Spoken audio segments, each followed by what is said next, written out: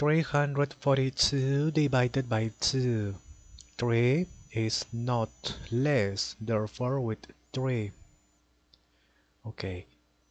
2 multiplied by which number is nearest to 3 but not greater 2 multiplied by 2 is 4 4 is greater multiplied by 1 is 2 is not greater okay subtract 3 minus 2 is 1 next 14 2 multiplied by 7 14 is not greater okay.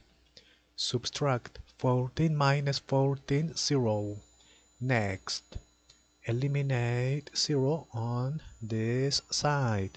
2 2 multiplied by 1 is 2 is not greater. Okay. Subtract. Next. That is not number therefore finish it.